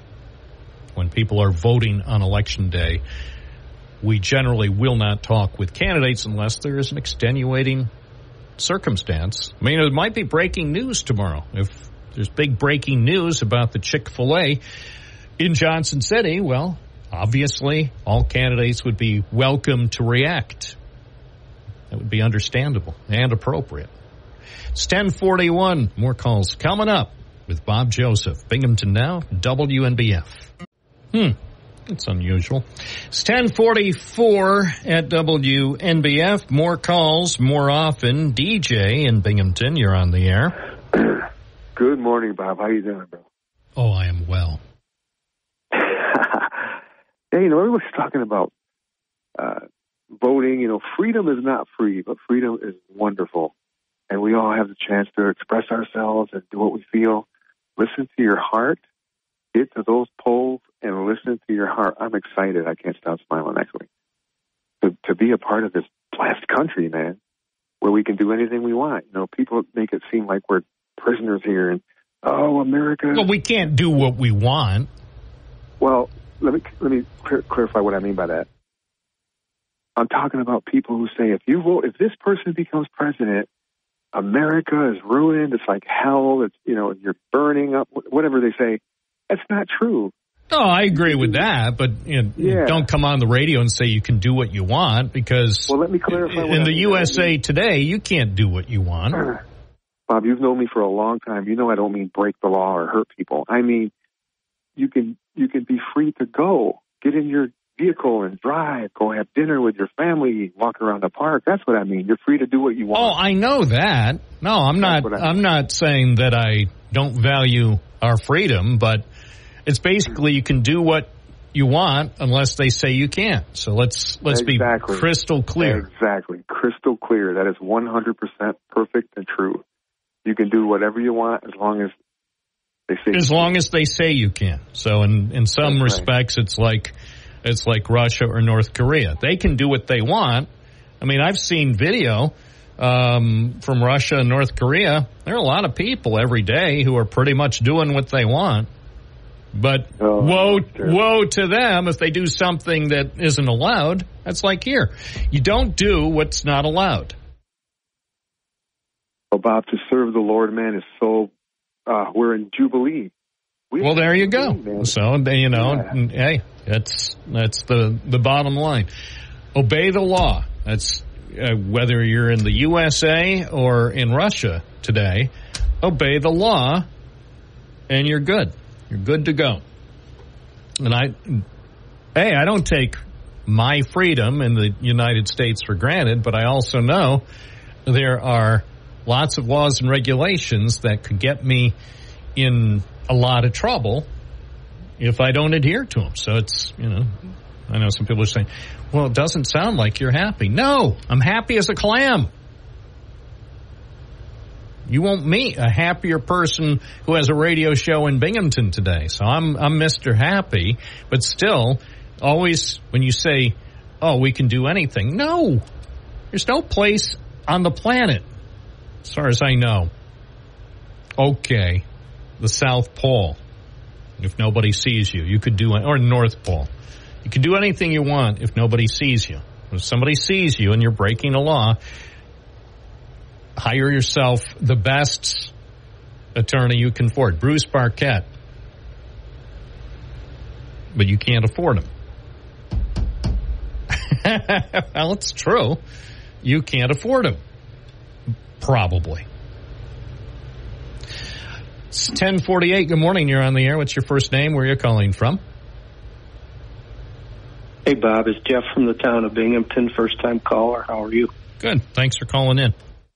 Thanks. Um, I listened to your uh, interview with uh, Molinaro, and I really liked what he had to say for 95% of the interview. And he really had me kind of swayed that I thought my vote was going to go to him. I believe both candidates really have their faults that, uh, uh, which is, you know, it seems to be a natural occurrence. Nobody's a perfect candidate, but when you posed the questions to him about Trump, it really kind of brought me back to reality to the point where, you know, his words were he ran or he's running a respectable uh, race and and he wants to do everything above board. Yet when the former leader of our country um, doesn't hold himself to any type of standards and thinks he can do whatever he wants to do, whether it's obscene or illegal or lying or anything. Um, Molinaro just bowed out, just completely silenced up because he was afraid to say anything bad about Donald Trump, even though you were hitting him with factual statements and things that can't be. I mean, you can't deny what the man has said and done, and you know. Well, and that that was one of the things. You know, I didn't want to have to get specific. I could have, but I also didn't think it was necessary because I guarantee that Congressman Molinaro knew what I was referencing, but he wanted specifics, and I didn't think it was necessary. I provided a couple of recent specifics, and I but I could have gone into several, and it was unnecessary because I expected basically the kind of answer he he provided as as far as reluctance to say anything on a live interview against Donald Trump. And I, I also understand why that is from a political pers- perspective, but I still thought it appropriate, even though we'd already talked, I think, for nearly 20 minutes, I still thought it was appropriate to ask about that, especially just given the tenor of the last couple of weeks. And I will say the last couple of weeks, judging from the Republican candidates' behavior at rallies and in in uh, interviews, I won't say I'm surprised. I guess maybe the only sort of surprise is sort of how low can you go? You know, but it's it's in keeping. You know, nothing.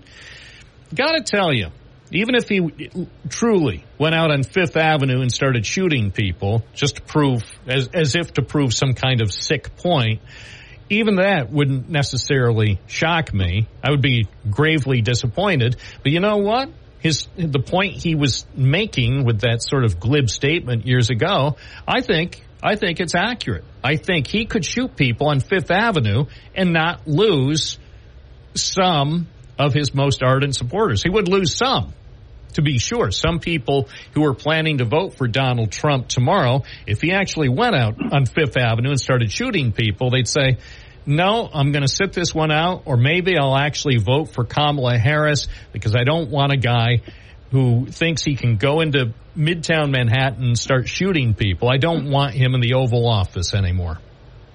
Right. And I don't want him in the Oval Office only because, you know what, he could he could probably be a good president. He could probably get a lot of good things done. But being president of the United States also entails that you have to do it with a form of um, decency and honor. And that's why Donald Trump will never get my vote for president. I don't care uh, what he offers us and how he says he's going to fix things. And for Marc Molinaro to dodge to that point, which to to me and maybe to you too, and a lot of listeners, is also he's going to be sitting in the Oval Office and he's going to represent every person in the United States. Well, that's the thing. And the president of the United States, for better or worse, is the face of this country. You know, it's one thing if if nobody outside the U.S. had access to what our president does, and I, I have to also acknowledge at the same time, I'm um, not happy with the um, face that the rest of the world is seeing of our current president. It doesn't. Right. And again, I have nothing against Joe Biden, except he does not, at this critical moment in our history, he does not do a good job representing what I want the USA to stand for. And, and that's, it's a pity. So, and, and I, I, I only wish him the best. The same as I wish Donald Trump the best. But I, I really think, you know, um, when it when it comes to our nation, we stand for something. We stand right. for at least I think most Americans, regardless of political party or whether you lean to the left or right, most Americans believe this country stands for morality and decency and doing the best we can for our people and also for the world. Right, but when you have a you know, Marc, like I say, Marc Molinaro sounded really good today, and he did it. But when you put him to the, when you put his feet to the fire, now let's say he wins. Let's say Donald Trump wins. I guess they're happy because, uh, you know, obviously it shows that for most American people, they really don't care about that aspect. But if you were to ask Marc Molinaro what his mother thinks about the way Donald Trump has been running his uh, his uh, reelection program, and you know, just because he's the one that brought her into his uh, uh, uh, candidacy, and he's the one that had her on some of his, um, uh, you know, his his calls and his videos and things like that. So I'm just, I, I just can't draw, I just can't make an exception to when, and all he had to do was come out and say, you know, I don't agree with everything Donald Trump does, the way he runs his candidacy and the way he acts as a, the way he acts in public and everything else. But I'm going to leave it at that. But no, I don't agree with everything he does. He couldn't even do that. He was afraid to say anything, and I understand because of the backlash. But sooner or later, you got to look at yourself in the mirror and say, "Gosh, how did I not come out and say I think what he did was atrocious?" or I think that was wrong, or even agree with you on some aspects. Forget the forget the ideologies. When the when the guy running for president of the United States is standing at the podium, um, making like the mic, having a sex act with a mic. And trust me, here's my problem. I'm legally blind, so I can't see a lot of the stuff that goes on. So I have to, I really have to pay attention to what's being said out there. Yeah. So I, it, don't, it I was have no idea. It, it was just like. it was just not pretty. Appreciate your call. All right, thank, Thank you. Have a good day. You too. 1056, more calls are coming up. Binghamton Now, WNBF. And it is Monday, November 4th, 2024. The polls will open in New York State in 19 hours. Believe it or not, 19 hours. So if you're uh, interested in voting and have not voted yet, you certainly will have your opportunity tomorrow. There is no early voting today, by the way, in case you were wondering. Yes, in case you were wondering. Uh, last hour, we spoke with Congressman Marc Molinaro live in the final hours of the heated campaign here in New York's 19th district. It's been watched not just in New York State, but even outside New York because it's it's um, likely to be a very very tight race, as it has been in recent years. So we. Um, we're just about ready to talk with the Democratic challenger, Josh Riley. He just called in, and yet we just lost him. So, oh, I think he's back with us. Good morning, WNBF. We're live on a Monday morning, and we are joined now by Josh Riley, the Democratic candidate who is challenging the incumbent Republican, Marc Molinaro. Good morning.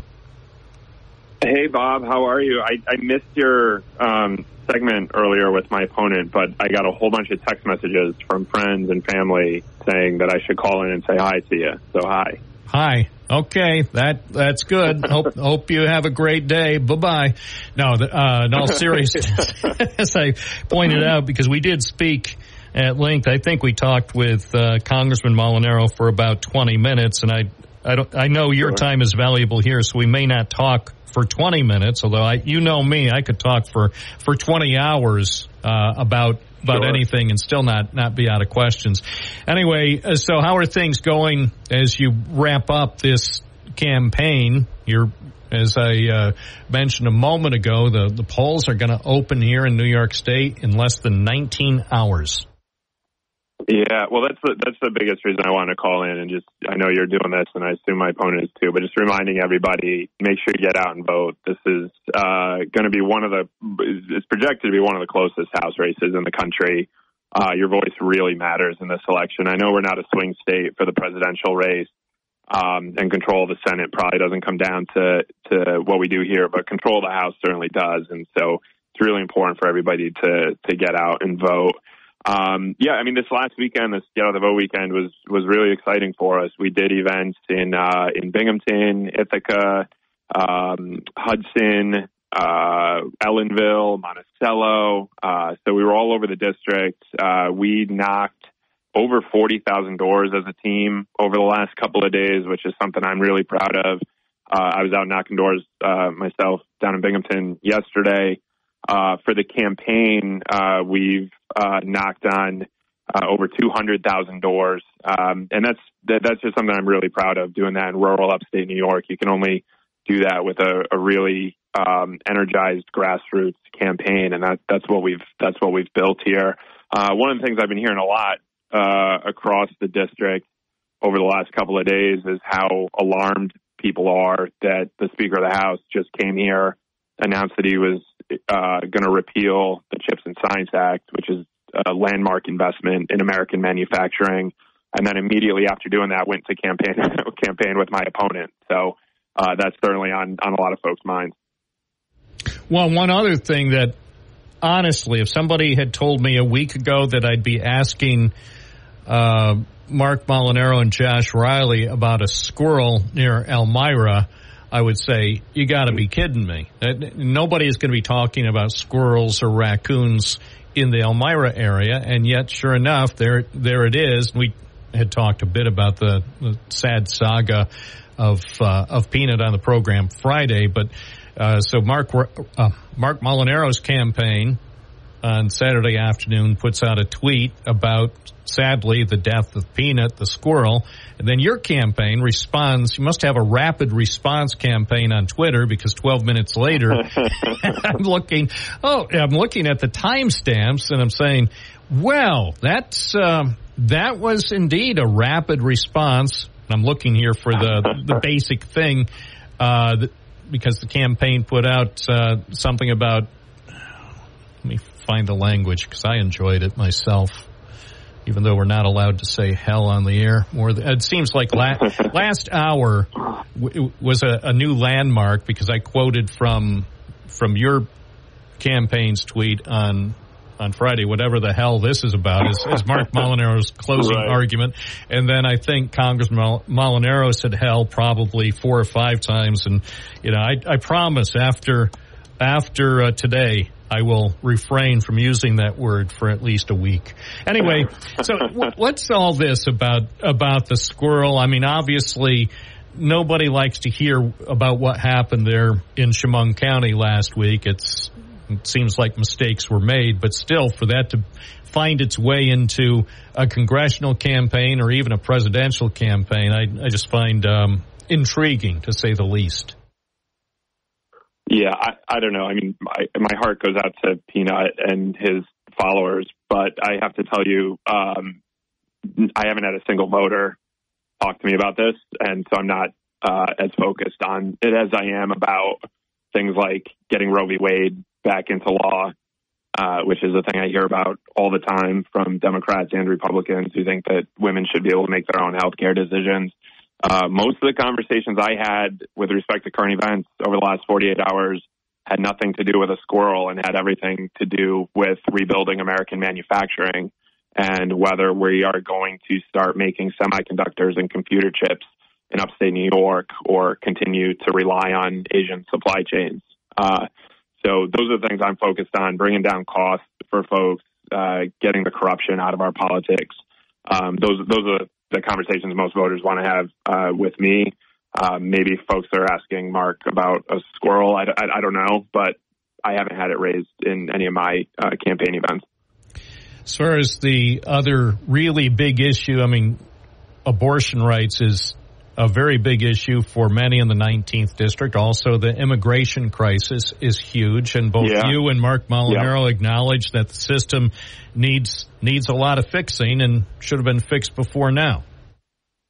Yeah, yeah, absolutely. I mean, I, I think um, we haven't updated our immigration laws in 40 years, and you think about how much the world has changed, how much the economy has changed in the last 40 years.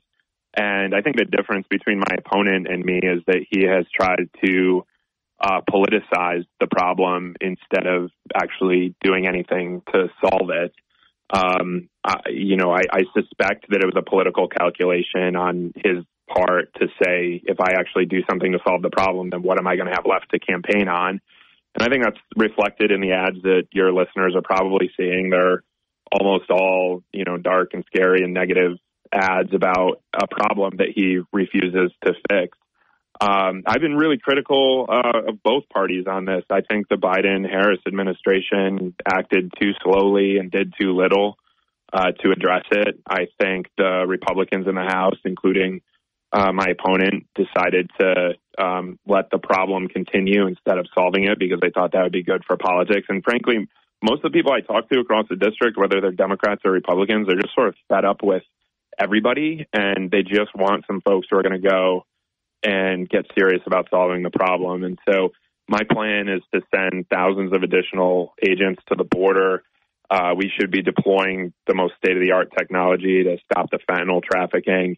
Uh, we've got to make sure the farm worker visa program is updated so that our dairy farmers across the district uh, have access to the labor they need.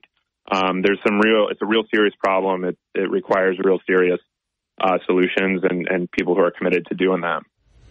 Marc Molinaro and many of his supporters, whether it's in interviews or on with commercials, are trying to imply or suggest that it was your fault that the Peruvian gang leader wound up in this country and going from Texas over to uh, Endicott earlier this year that that somehow it's because of Josh Riley, Riley and the policies that Democrats have supported when it comes to immigration.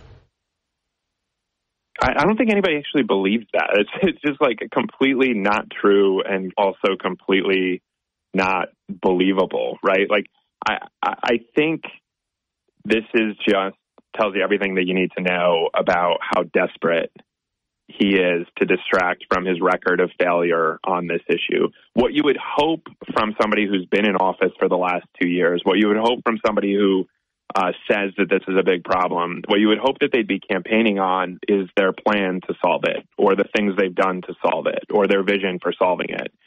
And instead, what you're what you're getting is the same thing you've gotten from this guy for 30 years pointing the finger at everybody else. When he was in the state and local government, he would blame the federal government for all the problems. Now he's in the federal government, he's blaming state and local government, and even me, who's not not even in the government at all. Um, at some point, it's got to be stop pointing fingers and start uh, and and start doing your job. I've been very clear. You know, I've been very critical of the Biden administration. Um, some Democrats get upset with me when I when I criticize my own party on this, but um, you just got to say it like you see it. And I think everybody's failing on this. How close do you think this election is going to be? It's been close in in recent years. It seems the district is um, is quite evenly divided with with those who actually turn out to the polls. So when when all the votes are cast after the polls close at nine o'clock tomorrow night, do you think you're going to wind up having to wait for potentially days or longer to find out who the winner is? I, I think it's very likely to be very, very, very close. Um, I mean, you remember it was a different, differently configured district, but um, Anthony Brindisi's race in 2020 was decided by 109 votes and subject to months-long uh, recounts and so forth. Uh, our race in 2022 was decided by less than 4,500 votes uh, out of nearly 300,000 cast. So uh, about a one and 1.6 percentage points, uh, one of the closest races in the country. And all of the polling and, and forecasts and models here are, are projecting uh, a very close race. The website 538 that does uh, forecasting is actually projecting this race as a deadlocked 50-50 tie. And so it's going to come down to who has a stronger grassroots operation. Uh, and I really, truly believe that that's us. We've knocked on over 200,000 doors as a campaign. It's, as I understand it, more than any red to blue uh, candidate in the country, um, or close to it at least. Um, and when I'm out over the weekend and we have uh, hundreds of volunteers knocking on tens of thousands of doors, uh, I find that very encouraging. I think folks who are who are listening, it's not too late to get involved. We're going to be uh, continuing to get out and knock on doors over the next uh, 36 hours here, and if you're interested in getting involved in doing that, you can come down to our uh, campaign office, which is on the corner of State and Lewis, I think. Yeah, I think it's about two blocks from the station here. I think I've driven past yeah, right around, a few times. Right around the corner from you. So, one question that Marc Molinaro um, seemed reluctant to address, it was toward the end of our conversation last hour, and it doesn't directly affect the 19th district congressional race, but it does affect all Americans, it was a question about Donald Trump and his behavior um, at campaign rallies and interviews, and just basically things he said and even things he has done in the last several days that have raised eyebrows, even even among some of his supporters who have been somewhat surprised by the things he said and some of the things he's done. So people are are asking is is there an indication of mental decline or is there something else going on with with Donald Trump that that should raise concerns among the American people as they vote if they haven't already voted? Uh, yeah, I mean, I, it's uh, it's fair to ask these sorts of questions. I will tell you, most of the questions I get from voters are about policy issues and not about the political personalities. I mean, I, I do think there is um, reason for uh, concern and um, reason to be upset about some of the things that were said uh, at the rally at Madison Square Garden a week or so ago. I also think that uh, whether he misspoke or not when President uh, Biden may have disparaged uh, Trump supporters, that that wasn't acceptable either. Um, we've got to get to a place in our politics where we're not referring to the other side as deplorable or garbage or the enemy or any of these things. And we've got to get back to a place where we realize we've got a lot more in common than divides us and focus on the big issues we're facing. Because look, if we're, if we're just going to run around and disparage each other uh, based on who you voted for, we're never going to solve the big problems like bringing the factories back to upstate New York and fighting climate change. That's going to take a bunch of folks who are Republicans, a bunch of folks who are Democrats, and a bunch of folks who are just kind of angry at both parties to come together um, and start breaking ground on on on these plants to get American manufacturing back. So that's that's that's really the thing I'm I'm focused on. I think a lot of folks are frustrated with uh, a lot of the rhetoric and, and and that kind of thing, and people just want to get serious about solving the big problems. So, what did you think when Governor Hochul on Saturday said uh, people who vote for Republican House candidates, say like Marc Molinaro, I don't believe she mentioned any candidates by name, but Republicans said she said essentially if you're voting for these Republicans in New York, you're voting for someone who supports Donald Trump and you're anti-women, you're anti-abortion, and basically you're anti-American. And she said you. Well, we we saw the interview on MSNBC. What do you make of that? I haven't seen the the interview. I think I read some headlines about it. But look, if you're voting, you're not anti-American. that's, that's probably the most American thing you can do. And if you're voting uh, for me, or if you're voting for my opponent, and if you're voting for Harris, or you're voting for Trump, the thing I care about is that you're voting. That is that is about the most American thing you can do. And nobody should be disparaged for exercising uh, exercising that that right and, and that privilege. And look, I you know this about me, Bob. I'm a Democrat. I come from a Republican family. Uh, you know what it's like in, in West Endicott. People don't really care about your your politics. Uh, you know, for our, for our debate that we had a couple weeks ago, I had eight seats, and I invited a, a used about half of them on uh, friends of mine from UE. I think they're all actually Republicans. I think they're all Trump Riley voters or Trump Riley supporters. Um, and I just think it's everything that's wrong with politics when we're when we're disparaging people based on based on how they vote. We should get back to just some you know some some real conversations about the real problems people are facing. So it seems to me what you're suggesting is Kathy Hochul didn't do anyone any favors by by making that comment about people being anti-American or anti-women if they're going to vote for Republican candidates this week it's not the way I look at it. I mean, I, I think if you're voting, I, I, I just like good for you if you're voting is kind of my view on it at this point. Um, that's it's look, I, I think in our democracy today, we are in a lot of ways we're so divided, um, and I think that's because that's to the benefit of the special interests and the political establishment to divide people up and pit them against each other and make people uh, make people angry at each other and fearful of each other. That, that's good for the entrenched interest, but it's bad for everyday folks. And at the end of the day, one of the things that has inspired me the most in this campaign, in the tens of thousands of miles I've traveled around this district, is just being reminded that we are not nearly as divided as the politics might make us seem. The number of conversations I've had with people who have voted Democrat, voted Republican, or never voted at all. And what folks want is the NYSEG bill to be lower. Folks want there to be more affordable housing for middle class families. People want to have um, ha- have groceries that are affordable and not forcing them to make trade offs between the groceries and the prescription drugs. Um, you know, none, none of that stuff should be as, as, as partisan as, as as it's made these days. If you're voting, you're if, if you're voting, good for you. That is, is kind of the way I look at it.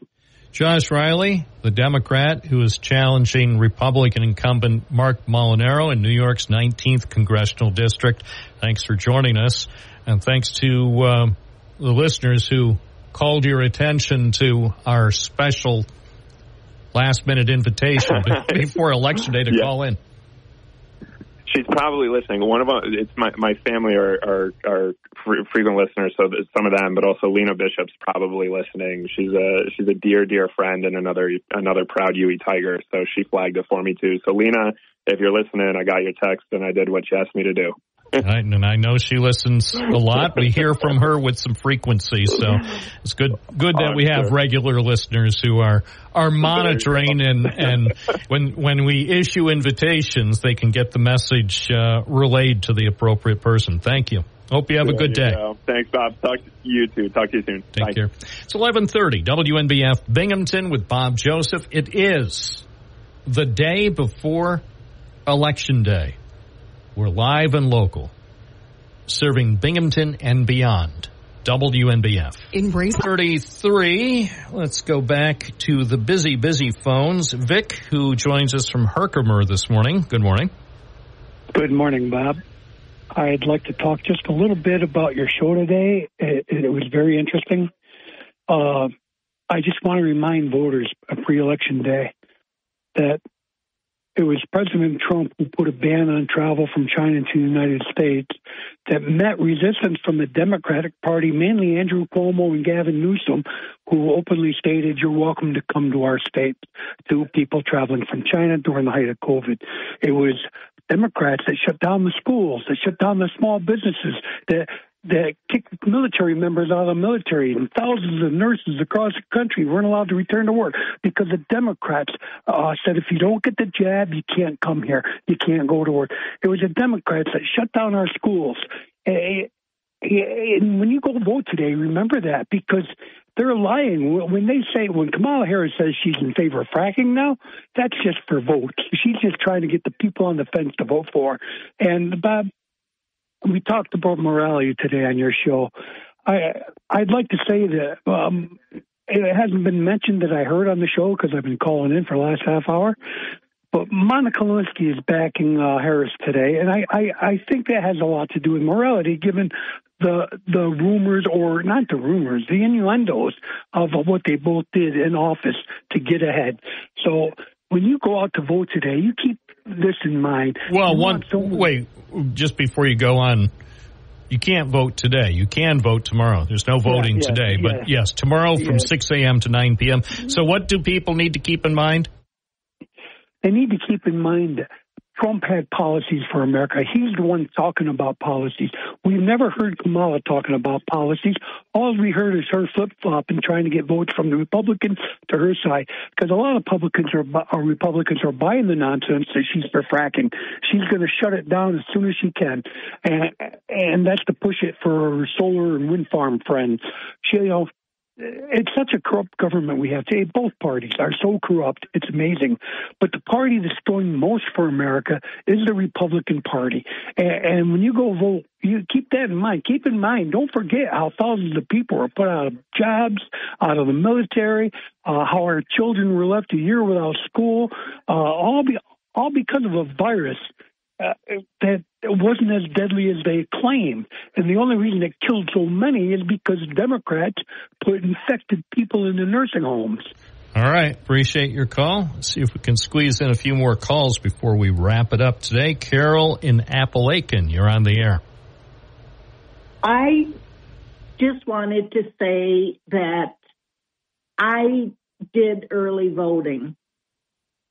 Um, and I was very surprised because I live in Tioga County that Josh Riley and Marc Molinaro were not on our ballot. Were you aware of that? Mm, yep. The, yeah, the uh, yeah the congressional district was uh, redrawn, and and I know some some people in Tioga County were not pleased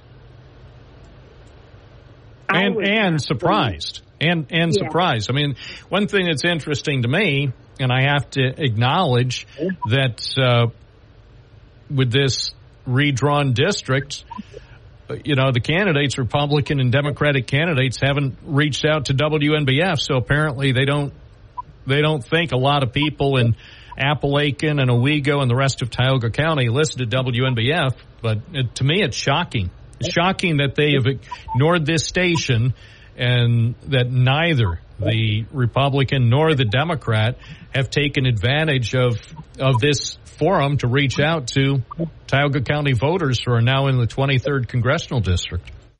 Yeah, I I agree wholeheartedly. I I just I was I was shocked.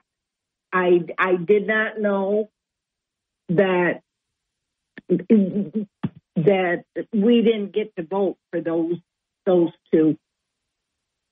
Yeah, yeah. Unfortunately, um, and and I I have to accept a certain degree of responsibility because if I wanted to um, reach out to those candidates, I could have. But their campaigns, I think, I think should take shoulder most of the blame. That I don't even think that they've reached out to a great extent to the Binghamton TV stations. So it's it, it raises some questions about both um, Nick Langworthy and Tom Carle why they uh, have have ignored for the most part the Binghamton media market, which covers a good portion of the 23rd congressional district. Seems strange to me. Yeah, I I I had never heard of. I I knew the one, but the the male, I I never I never even heard of him. Well, I'm I'm looking at his picture now for the first time myself. Tom Carle, Yeah. the Democratic candidate. Look, there's some signs around, you know, but it doesn't explain on on the signs that I've seen in Tioga County. Doesn't even identify him as a Democrat, probably because he knows that it would not necessarily gain him many votes in uh, um, majority Republican Tioga County. But my question to him is, why hasn't he called in? Why why have we not heard from the Democratic candidate Nick Langworthy? Uh, although he hasn't been on the program since he's been in Congress or um, during this campaign, he used to be on the program somewhat regularly when he was the state Republican chairman. So he's at least familiar with the station, but apparently he's written us off. Well, I mean, which is fine. Hey, I you know I don't take it personally. I've obviously I've got I've got enough fish to fry here with with Broome County's races, but you would think, especially since you know a lot of people, I am told in eastern Tioga County get a lot of their news and information from WNBF and from the Binghamton TV stations. True. So I don't know why that is, but I I know you're not the only one confused by what they saw when they they saw their ballot. yeah, I I was shocked. Yeah. Well, you know, next time next time I guess I'll I'll do a better job at reaching out to the candidates. I guess I was too busy waiting for them to contact me. I you know, I mean, here Josh Riley and Marc Molinaro, their campaigns are are in constant touch with me, and that's why you hear from them frequently. There's there was no reason for the uh, congressional candidates who are running in the 23rd district why they couldn't have taken advantage of of being on this program several times if they had wanted to. Right, right. Okay. All right. Thank you very much. Yeah, thanks. I'm sure some listeners are saying, "What?" Yeah, yeah. Watch if you're going to the polls tomorrow in Tioga County, you can't vote for Marc Molinaro and you can't vote for Josh Riley. I know you're saying, "Who are these guys?" Nick and Tom, Tom and Nick.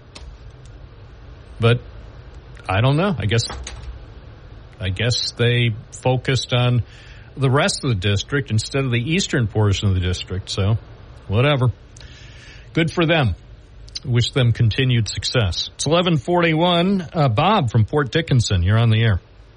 Yes, good morning, Robert. Uh, wanted to invite you and the listeners to our monthly meeting, Citizens for a Better Broome. We meet tonight at 6 at the Park Diner, the back room. Uh, certainly you're welcome, and everyone who's listening is welcome. We're a small government accountability group and uh, meet the first Monday of every month, and that is today. So 6 p.m., be there. We'll share some stories and concerns and talk about current events, and uh, all are welcome. All right. All right. I won't be there because I have a meeting tonight at 7, so I can't be in two places at once.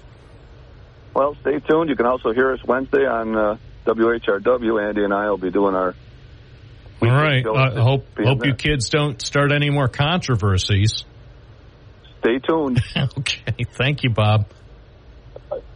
1142 at WNBF. Wow, I've got a busy Monday. How can I fit it all in between now and midnight? I don't know. I'll do it, but I don't know. I've got a lot, lot to do over the next 12 hours and 17 minutes. Gary from Binghamton South Side, you're on the air.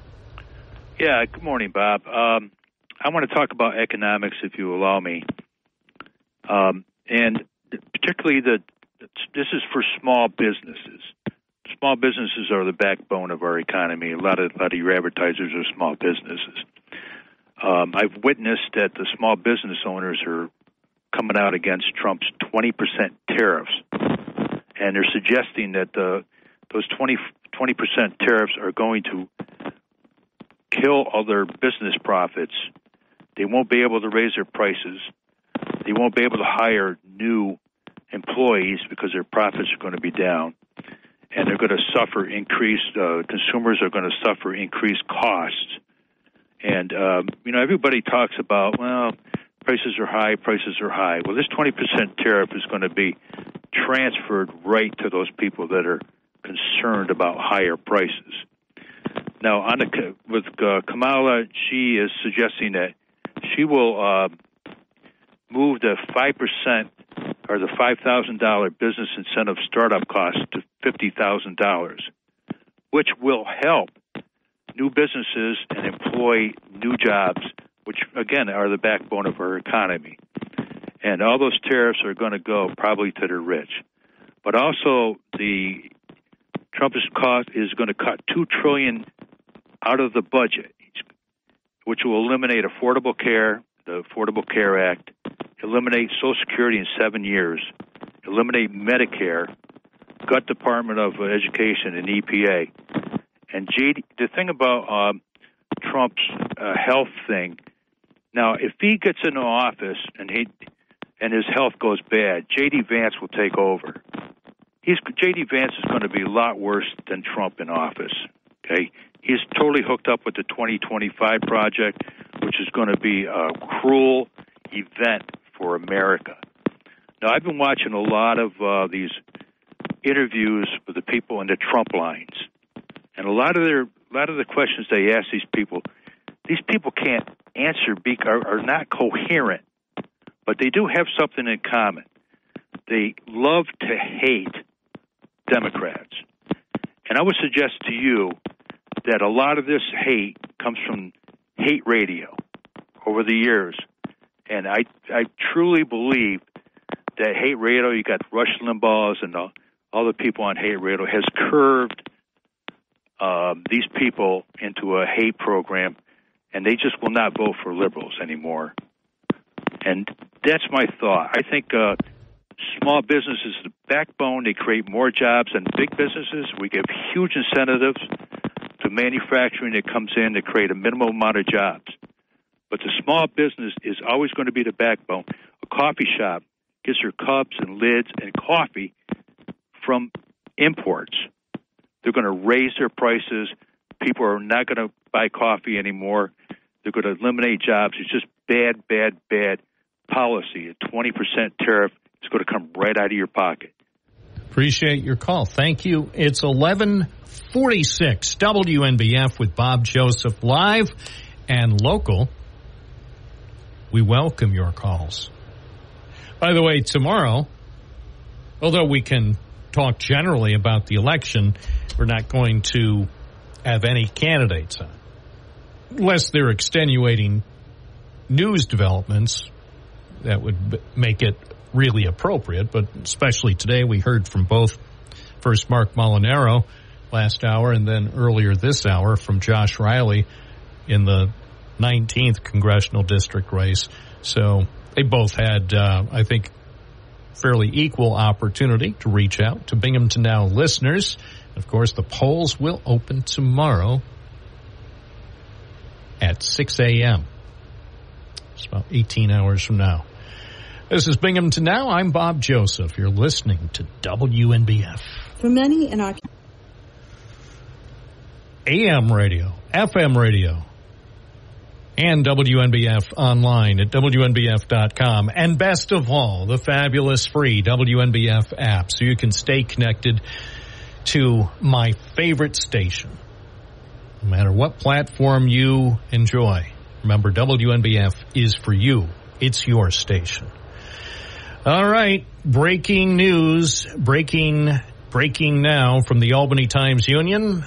A story by Brendan Lyons, the managing editor. Listen carefully. The state police have now launched an internal investigation into a trooper's claim that he was shot in the leg by a motorist during a traffic stop on Long Island.